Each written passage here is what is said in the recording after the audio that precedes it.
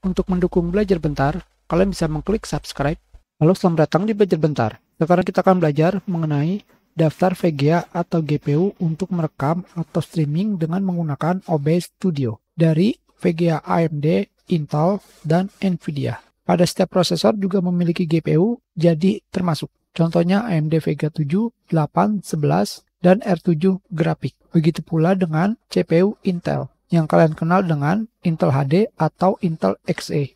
Di sini saya memiliki tiga gambar dengan pengaturan OBS Studio. AMD dengan VCN, Intel dengan QuickSync, dan NVIDIA dengan NVIDIA NVNC. Pertama, jika kalian menggunakan CPU, APU, atau GPU discrete AMD, kalian bisa pergi ke Wikipedia di sini dengan pencarian video coding engine.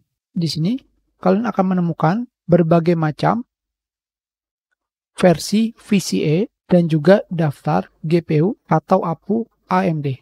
Pada bagian atasnya di sini, kalian bisa melihat fitur video encoding yang bisa kalian gunakan untuk merekam video pada OBS Studio. Tentunya karena banyak, kalian bisa melihat daftar APU atau GPU yang kalian miliki. Pada bagian atas di sini,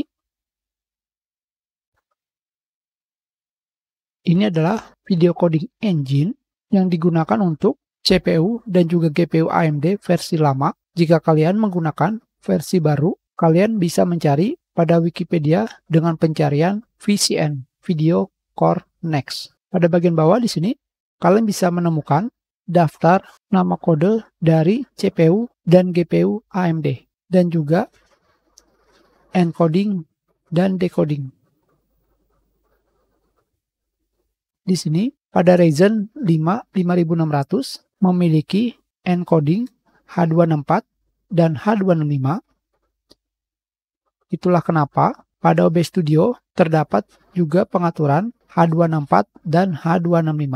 Selanjutnya, jika kalian menggunakan CPU APU atau GPU discrete Intel, kalian bisa pergi ke Wikipedia dengan pencarian Intel QuickSync Video. Di sini kalian akan menemukan berbagai macam kode nama CPU dari versi 1 sampai versi 8 untuk CPU Intel. Kalian juga bisa menemukan di sini fitur dari encodingnya. Untuk lebih mudahnya, kalian bisa melihat pada bagian bawah. Selanjutnya, jika kalian menggunakan GPU NVIDIA, kalian bisa pergi ke Wikipedia dengan pencarian NVIDIA NVNC, NVIDIA Encoder. Di sini, pada bagian bawah, kalian bisa menemukan kode nama dari GPU dan fitur encodingnya. Sebagai contoh, di sini GPU yang saya gunakan memiliki kode nama GM206. Di sini GM206 memiliki encoding H264 dan H265. Itulah kenapa pada OBS Studio memiliki pengaturan NVIDIA NVNC H264.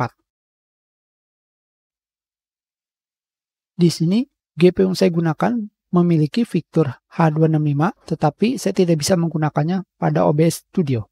Itu adalah mengenai daftar VGA atau GPU yang bisa kalian gunakan pada OBS Studio yang memiliki fitur encoder seperti AMD dengan fitur VCA dan VCN Intel dengan fitur QuickSync dan Nvidia dengan fitur NVNC. Kita sudah pelajaran kita. Terima kasih.